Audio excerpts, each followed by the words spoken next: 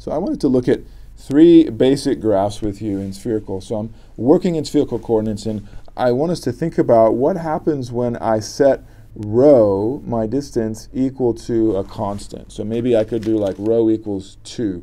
So I'd like you to pause the video and try and sketch a graph of what surface does this equation give you. Well, hopefully you've had time to think about it. And so rho equals c this gives me a gives a sphere of radius c. And let's just sketch a quick picture. Here's the origin. And we're saying, I don't care what angle theta is, you can swing all the way around, and phi can go all the way down. And so when you do that, when you take all points that are distance, where the distance from your point to the origin is c, that traces out a sphere. Okay, next graph. Let's look at theta equals c. This one's a little tricky because it's kind of unusual. It's not a graph that we typically look at. Well, it's part of a graph we typically look at. So pause the video, see if you can figure out what the set of all points where we fix the angle theta uh, to a constant looks like. Hopefully you were able to realize that theta, here's my angle theta, it's, this is x, so I'm swinging out, let's just say that I stop right there. So here's my angle theta.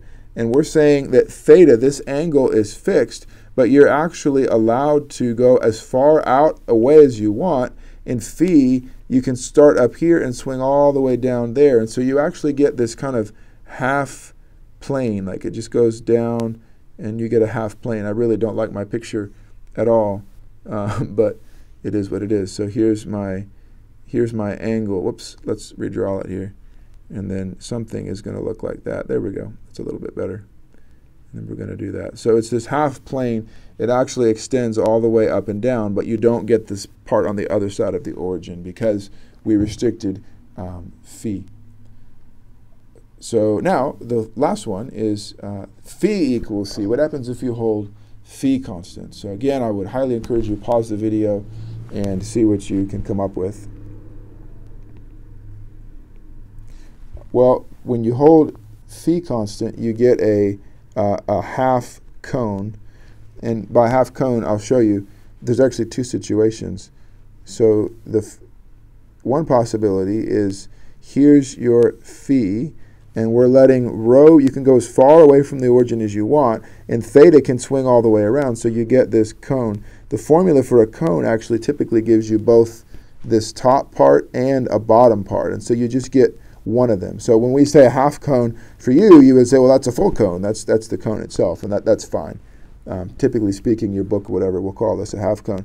This phi, the way that I've drawn it, I'm assuming something about phi. I'm assuming that my phi, what I'm setting a phi equal to, the c, is actually less than pi halves. And so if you want to go ahead and set uh, phi equals to pi halves exactly, then you actually get the coordinate plane z equals 0, right? Because I don't care what rho is, uh, rho can be as far out as you want, and theta swings you around, and so you pick up the entire plane. So theta equals c can be a half cone, or it can be the z equals 0 plane, or it can be the cone that points down as well. So it might look like this when your C is, whoops, when your C is um, bigger than pi halves, but of course it has to be less than pi. So those are the different possibilities here, right? Let's make sure we're clear. Let me draw it in red. Your angle phi is coming down there. That's phi. And then theta lets you swing all the way around. And of course, rho, you can go as far away from the origin as you want. So those are three different cases and you could get a cone or you could actually get uh, a plane only in the case when phi equals pi halves.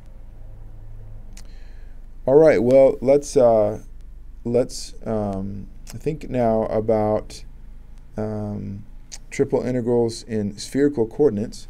And so uh, I'm just going to show you how to make the conversion.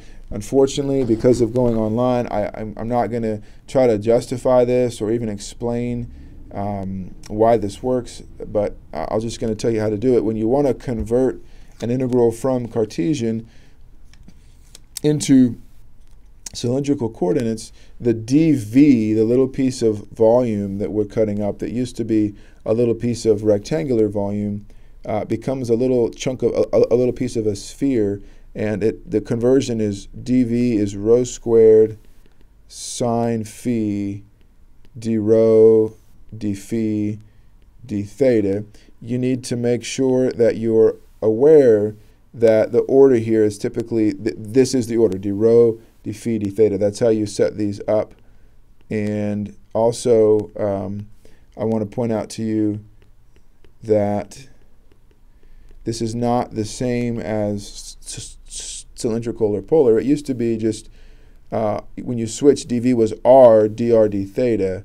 Now it's a rho squared plus another sine phi gets kicked out as well. So let's stop this video here and then we'll pick it up and practice some of these in the